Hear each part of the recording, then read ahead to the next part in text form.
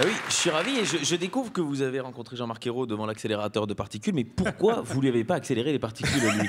C'est ça ma première question.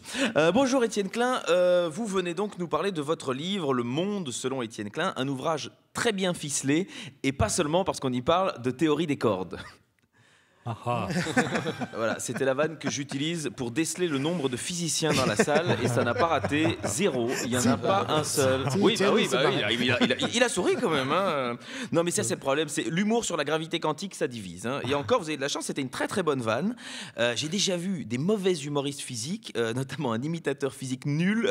Il imite Lavoisier, comme ça, il fait euh, Ouais, rien ne se perd, rien ne se crée, crac crac. C'est hyper dépassé. Euh, Lavoisier parle plus du tout comme ça.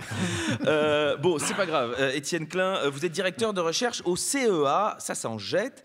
Euh, mais je pose tout de même la question est-ce mieux d'être directeur de recherche que secrétaire de découverte On ne le sait pas.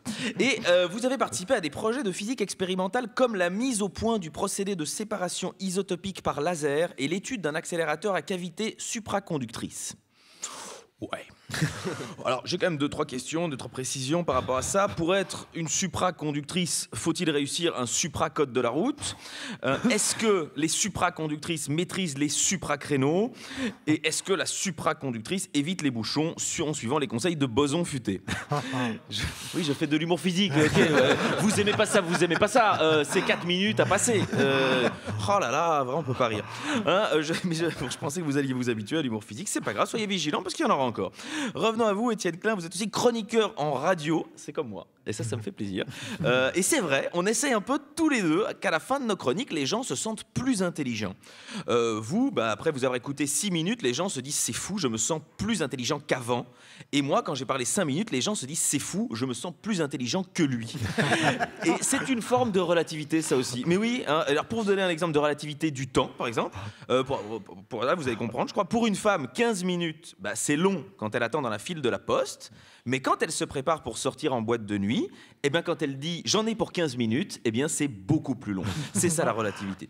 Et vous officiez sur France Culture, euh, un physicien, je vous aurais plutôt attendu sur énergie cinétique. Oh, je sais, c'est du bas niveau d'humour physique, mais c'était pour vous. Euh, je veux dire, quand je tape haut, vous la, vous la chopez pas. Alors, euh, bon. Ça y est, ça y est, ça y est, j'ai Non, compris. ouais, vous, vous, oui, oui. ça y est, compris. Alors, je peux monter d'un cran pour vous. Attention, accrochez-vous parce que celle est pointue. Cela dit, il y a peu de physiciens qui font de la radio, à part Willem Röntgen. C'est mar- ouais, oui, c'est marrant. Oui, Oui, oui, mais Becquerel. vous- après, on va rire qu'à deux, et c'est ça le problème. Il y avait Euh, Marie Curie aussi. Oui, bah oui, mais ça Ah. c'était voilà, ça, mais non, mais Röntgen c'est la radiographie. C'est Ah, ça, Là, là, là, là, là, là, bon, bon, bah, Mais il y pas a la radioactivité. Oui, mais, euh, oui, mais, d'où la radiographie. Enfin, si, de toute façon, je ne comprends pas ce que je lis, hein, donc euh, de, de- de- vous faites pas chier. Et, et- et vo- votre passion, Étienne Quin, c'est de comprendre l'univers. Vous rêvez de percer nos origines. Vous êtes une sorte d'Oedipe de la science. Et donc, vous étudiez la théorie du Big Bang. C'est le véritable début. Hein, au commencement de l'univers, il y a 14 milliards d'années, en fait, il y avait rien. Et puis, boum, il y a eu quelque chose. Ce qui vous différencie de Paco Rabanne, euh, qui lui dit tiens, il va se passer quelque chose. Et puis, boum, il y a rien. Euh, mais comment faire pour étudier au mieux, évidemment, les secrets de l'univers en laboratoire? Eh bien, il faut induire des collisions, hein, comme un peu comme Grâce de Monaco, hein, Grâce de Monaco qui n'était pas une supraconductrice, hein, ça c'est important. Euh, oui, je redescends, hein, c'est pour vous que je le fais, euh, c'est une main tendue. Si vous la prenez pas, c'est votre problème.